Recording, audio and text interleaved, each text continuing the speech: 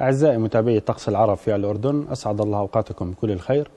بالرغم من الأجواء المستقرة التي تشهدها المملكة اليوم يتوقع إن شاء الله أن نشهد تغيير على أجواء يومي السبت والأحد وذلك بسبب تأثر المملكة بمنخفض جوي وكتلة هوائية باردة. التوقعات تشير إلى انخفاض درجات الحرارة بشكل واضح يوم السبت بالتزامن مع اشتداد واضح أيضا في سرعة الرياح. هذه الرياح تكون مثيرة للغبار في المناطق الجنوبية والشرقية من البلاد.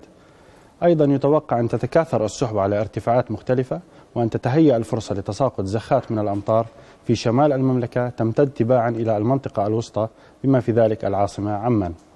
مع ساعات ليلة السبت على الأحد يتوقع أن تعبر البلاد جبهة هوائية باردة تعمل على اشتداد وانتظام الهطول المطري وأيضا امتداده إلى المناطق الجنوبية إذا تهطل عنا الأمطار في شمال ووسط وجنوب البلاد.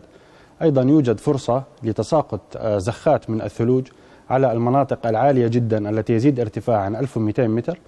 هذا الارتفاع غير موجود في العاصمة عمان بل هو موجود فقط في مناطق آه، قمم جبال جرش وعجلون العالية وأيضا قمم جبال الكرك والطفيلة والشراه يوم الأحد يتوقع أن يزداد تأثير هذا المنخفض الجوي يطرأ المزيد من الانخفاض على درجات الحرارة يكون الطقس باردا وغائما وماطرا وتكون الأمطار غزيرة إن شاء الله على فترات وقد تترافق مع حدوث آه، الرعد وتساقط زخات من البرد.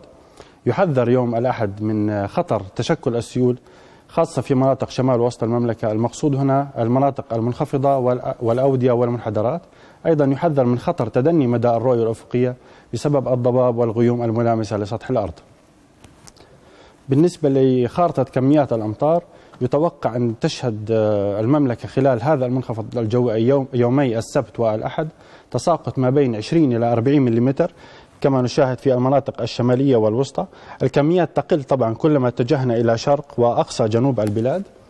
آه، بعض المناطق آه، قد تشهد تساقط أكثر من 40 ملم المقصود هنا مرتفعات عجلون وأيضا جبال السلط وأيضا أجزاء من غرب العاصمة عمان.